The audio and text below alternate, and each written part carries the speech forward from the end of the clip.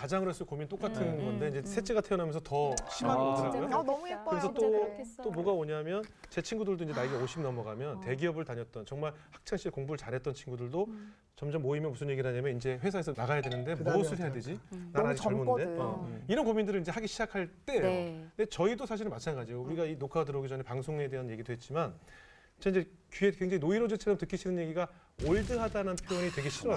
음. 그 올드하다는 단어로 사람을 확 늙은이로 밀어버리는 것 같은. 그럴 때마다 그 올드하다는 네, 표현에 되게 음. 거부감이 확 나면서 그게 이제 두려움이 아, 두려움이 사실. 생기는 네, 두려움이 거예요. 근데 이 두려움을 이겨야 되는데 극복해야 그러니까 어떻게 보면 약간 좀 뭐 기도로 이겨내야지 네. 하면서 네, 그- 하나님이 그런 두려운 마음을 주면서 나를 네. 골방으로 부르시는 게 아닐까 뭐 오른 그런 생각이 들어요. 그럼 뭐 오른밤을 맞았으니까 왼밤 내밀어 더 올드하게 해버리면 않을까? 그러니까 아예 그냥? 대놓고 제, 경우에 보면 저는 이 방송 나오고부터 그렇죠. 헤어스타일도 달라지고 멋있어요. 너무 감사해요 이 방송이. 언제부터 네. 나 따라 하시는 것 같아요. 어, 그럼 아, 진짜였어요. 따라 하시는 것 같아요. 미용실 가서 제 사진 보여줬죠?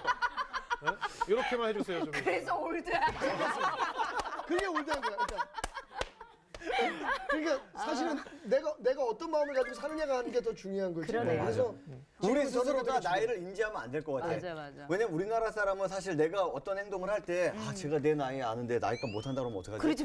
이런 또 그래. 선입견이 옷 같은 거 입을 맞아. 때도 우리 내 나이, 여보세요, 나이에 여보세요. 맞게 입어야 되는데 말이야. 내 방송한 거 보면 반 이상이 당신이 뭐라는 줄 알아? 오빠 반백살 사람을 보고하시 오빠 50이에요. 나이가 50 넘은 전부 내가 만나면 내 나이 여기다 여기에 어, 지금 반백년 사셨는데. 어, 반백- 제가 오늘 오늘 이거 그래서 세시신 거예요? 아, 그래서 나이 60이잖아 이제. 이거는 시대의 노아 노아 노아 주영은 화이팅.